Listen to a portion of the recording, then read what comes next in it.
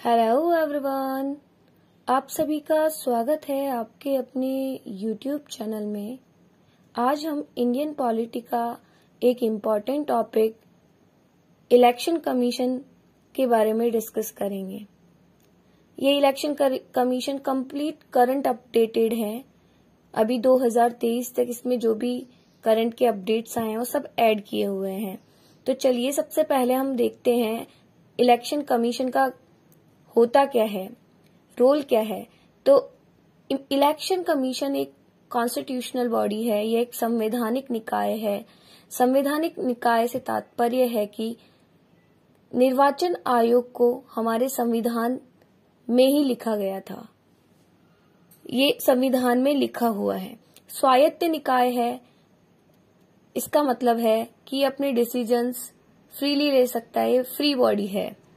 यह एक अर्धन्यायिक निकाय है, अर्थात निर्वाचन आयोग प्रशासनिक सलाहकारी अर्धन्यायिक संस्था के रूप में कार्य करता है।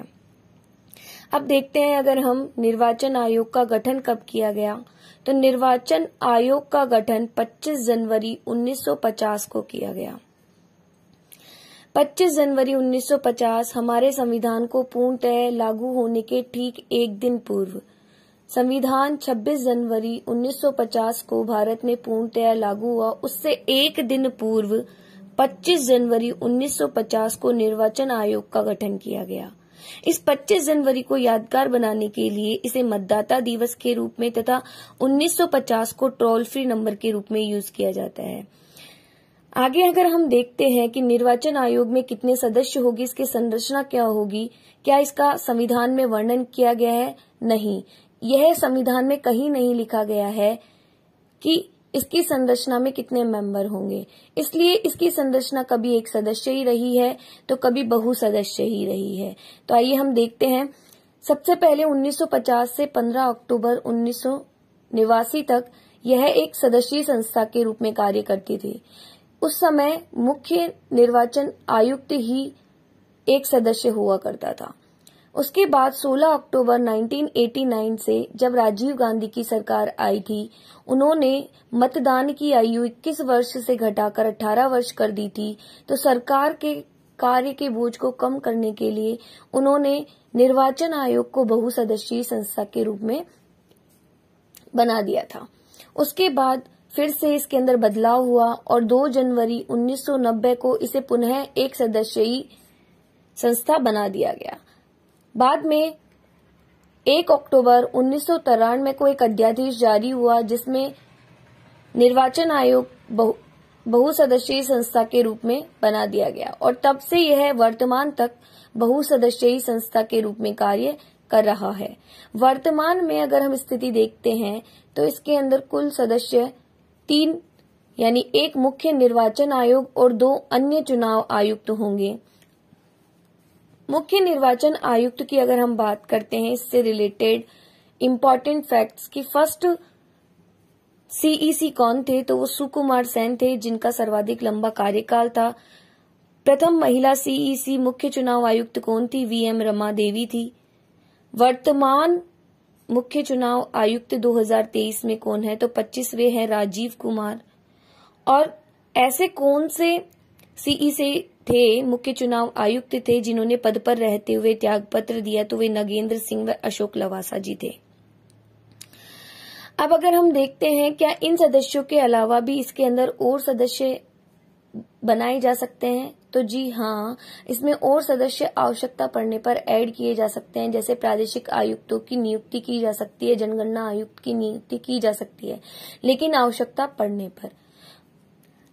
अगर हम देखते हैं कि अभी जब ये नियुक्ति है, वो चर्चा का विषय क्यों बनी रही थी? जब राजीव कुमार जी का नियुक्ति की गई थी तो राष्ट्रपति से ये प्रश्न पूछा गया था कि 24 घंटे के अंतर्गत ही राजीव कुमार जी का नियुक्ति किस प्रक्रिया के तहत की गई है? तब सुप्रीम कोर्ट ने संतुष्ट जवाब प्राप्त नहीं होने पर एक निर्णय दिया है अभी। तो देखिए, सबसे पहले चर्चा नियुक्ति की जो प्रक्रिया थी, पहले राष्ट्रपति द्वारा संसद के द्वारा जो विधि बनाई जाती थी, उसी के तहत राजीव कुमार का निर्वाचन हुआ था। लेकिन जब इस पर सवाल खड़े हुए, तब सुप्रीम कोर्ट ने एक निर्णय दिया कि अब राष्ट्रपति द्वारा समिति ही की सलाह पर ही सीईसी की नियुक्ति की जाएगी। इस समिति के अंदर कौन कौन सदस्य होंगे? एक भारत के प्रधानमंत्री जी होंगे। लोकसभा में विपक्ष का नेता होगा। एंड भारत के मुख्य न्यायाधीश सीजीआई होंगे। ये बहुत इंपॉर्टेंट क्वेश्चन हैं, साथियों। ये अभी करंट अपडेटेड क्वेश्चन है। आपसे प्रश्न पूछा जाएगा राष्ट्रपति द्वारा मुख्य चुनाव आयुक्त की नियुक्ति के लिए। सलाह देने के लिए जो समिति है, उसके सदस्य कौन कौन होंगे? पहला ऑप्शन आपको देंगे पीएम विपक्ष का नेता सीजीआई और फोर्थ ऑप्शन कुछ भी ऐड कर सकते हैं। तो कौन नहीं है, सदस्य कौन नहीं है, इस तरह से प्रश्न पूछा जा सकता है आपसे। तो ध्यान रखना पीएम सीजेआई विपक्ष का नेता, लोकसभा में विपक्ष का नेता। तो इस तरह से हम निर्वाचन आयोग के बारे में देखेंगे। आगे अगर हम देखते हैं निर्वाचन आयोग के अंदर महत्वपूर्ण अनुच्छेद कौन सा है आर्टिकल कौन सा है तो हम देखते हैं निर्वाचन आयोग के महत्वपूर्ण अनुच्छेद 324 से लेकर तीन तक निर्वाचन आयोग के अंदर अनुच्छेदों का अध्ययन किया जाता है। लेकिन जो सबसे इम्पोर्टेंट अनुच्छेद है, वो है 324 अगर हम 324 अकेले को भी पढ़ लेते हैं तो हमारा काम निकल सकता है एग्ज़ाम पॉइंट ऑफ़ व्यू से। तो देखिए इसको याद करने के लिए बहुत सिंपल वे है। सबसे पहले अगर आप कहीं इंटरव्यू में जाते हैं तो आपसे क्या पूछा जाता है why you are preferring this job कि आप इस जॉब के इसी जॉब को आपने क्यों चुना है, क्या रीजन है, क्या काम है, किस काम को करने के लिए आप इस जॉब को चूज़ कर रहे हैं। तो वैसे ही संविधान के अंदर लिखा हुआ है कि निर्वाचन आयोग को किस कार्य के लिए नियुक्त किया गया, किस कार्य के लिए बनाया गया संविधान में किस कार्य कौन सा कार्य करने के लिए निर्वाचन आयोग को लिखा गया?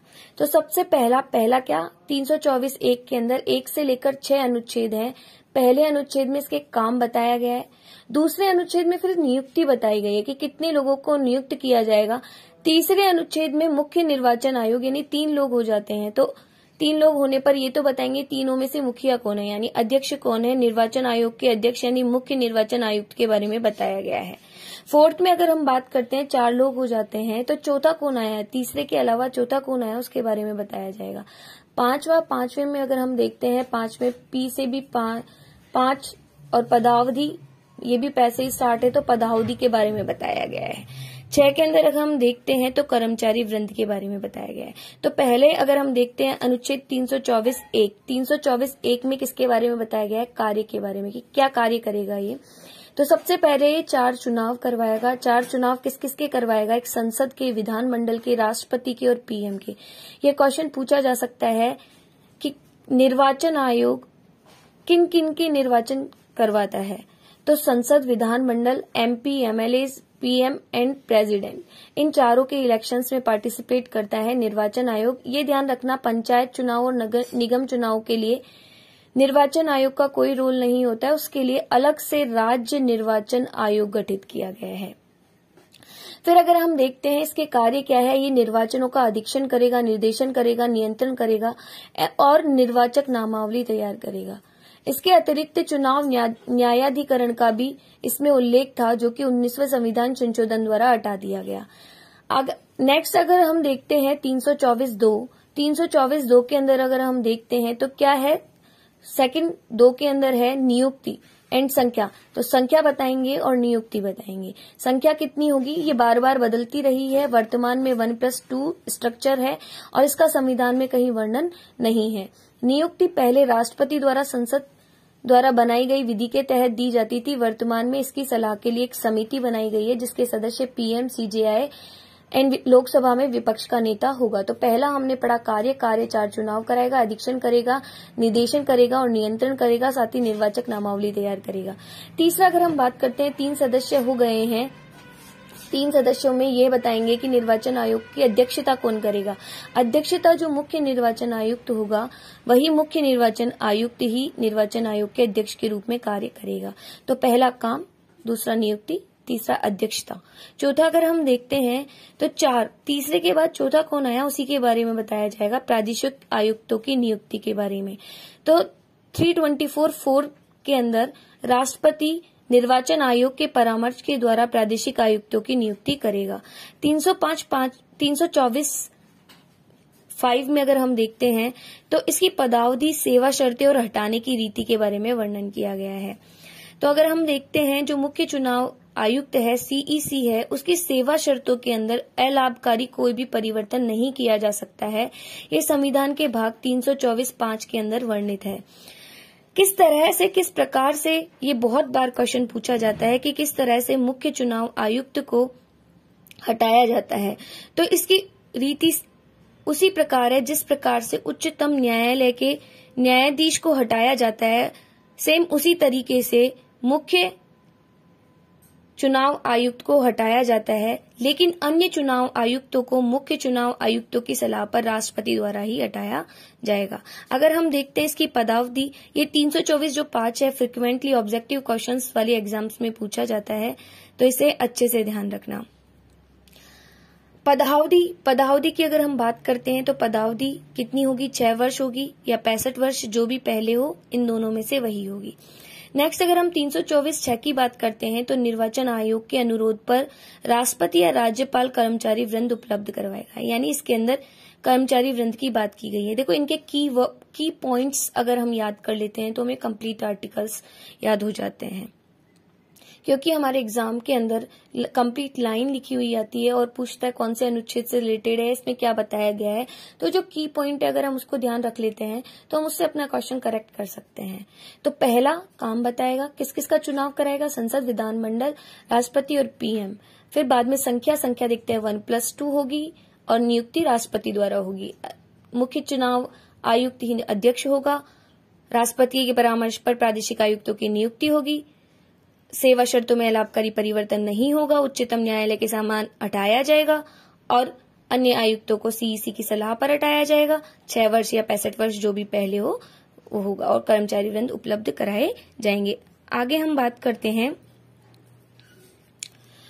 निर्वाचन आयोग की शक्तियों के बारे में और इसके कार्य के बारे में। तो हम देखते हैं निर्वाचन आयोग की शक्ति व कार्य। तो देखिए, निर्वाचन आयोग का बहुत इम्पोर्टेंट काम है। ये कार्य सलाह भी दे सकता है, यानी एक सलाहकारी संस्था के रूप में भी कार्य करता है।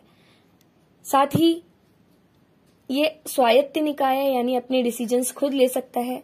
प्रशासनिक निकाय है अर्ध न्यायिक निकाय है। अखिल भारतीय संस्था के रूप में कार्य करता है। अगर हम देखते हैं निर्वाचन आयोग निर्वाचन आयोग का सबसे महत्वपूर्ण काम है भूभाग का निर्धारण करना। अर्थात जो संसद परि संसद के द्वारा परिसीमन आयोग अधिनियम बनाया जाता है। परिसीमन का मतलब है बाउंड्रीज किसकी परिसीमा निर्धारण करना? पर, संसद बनाएगी परिसीमन आयोग अधिनियम।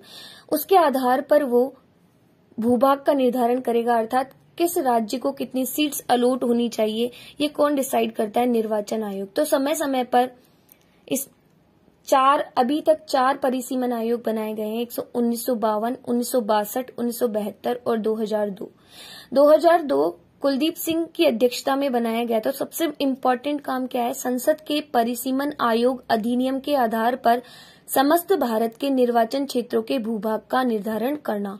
कितने, यानी ये क्या करता है? भूभाग का निर्धारण करता है और किसके अकॉर्डिंग परिसीमन आयोग अधिनियम के अकॉर्डिंग कितने बनाए गए चार, उन्नीस सौ बावन, बासठ, बहत्तर और दो हज़ार दो। इसके अतिरिक्त, इसके इम्पोर्टेंट काम क्या है ये? निर्वाचक तिथि, समय सारणी, निर्वाचक नामावली तैयार करता है। राष्ट्रपति को सलाह दे सकता है। मैंने कहा था कि निर्वाचन आयोग एक सलाहकारी संस्था के रूप में कार्य करता है तो सलाह क्या क्या दे सकता है? देखो, ये राष्ट्रपति को सलाह दे सकता है संसद सदस्यों की निर्भरता से संबंधित। ये राज्यपाल को सलाह दे सकता है विधान परिषद के सदस्यों की सलाह से संबंधित।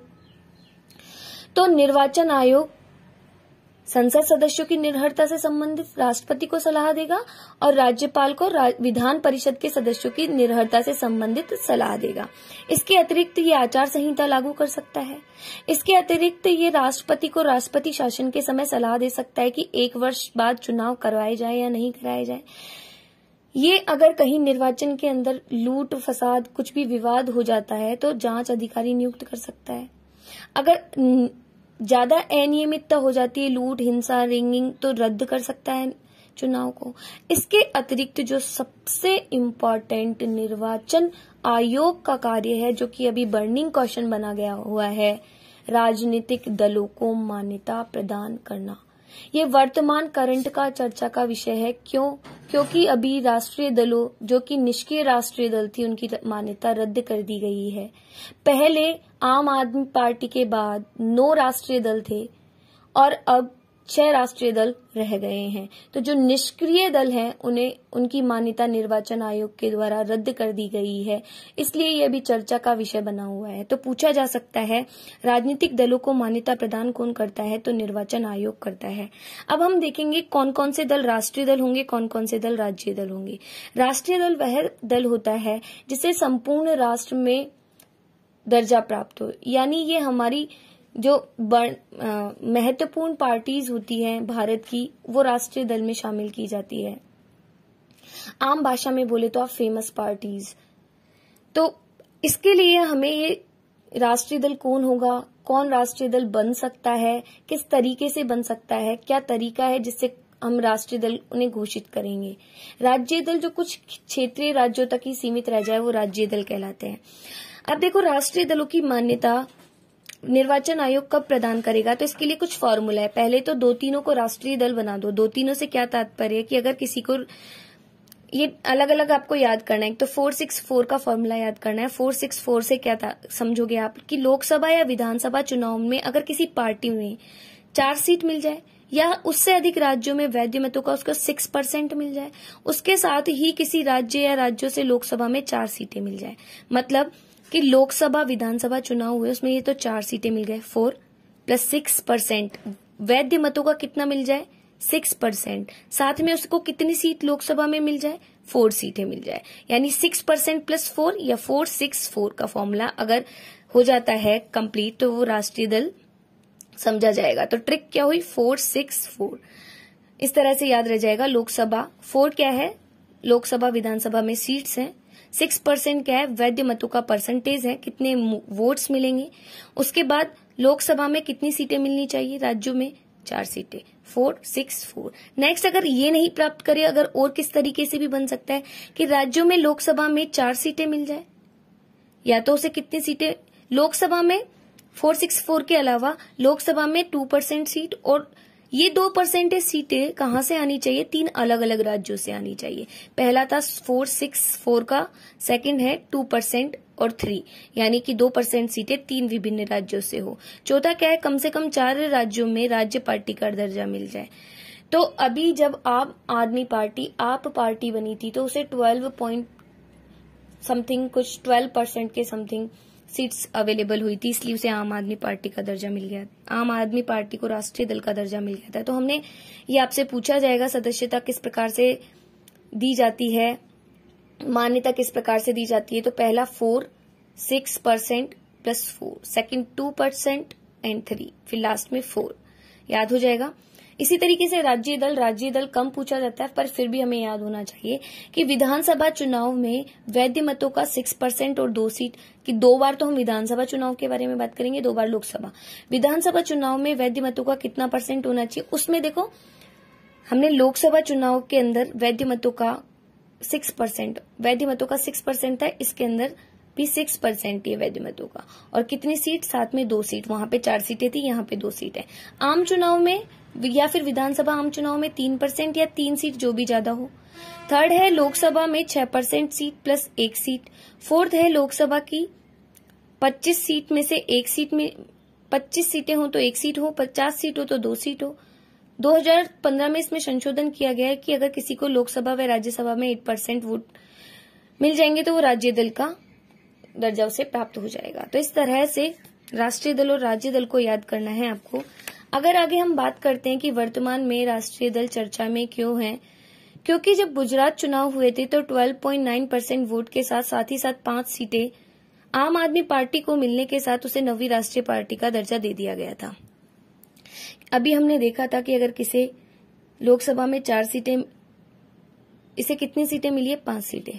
और ट्वेल्व परसेंट वोट अपन ने देखा था, या तो टू परसेंट कितने सिक्स फोर सिक्स फोर का रूल था टू टू एंड थ्री का रूल था और फोर, चार राज्यों में राज्य पार्टी का दर्जा था, चार ये रूल था।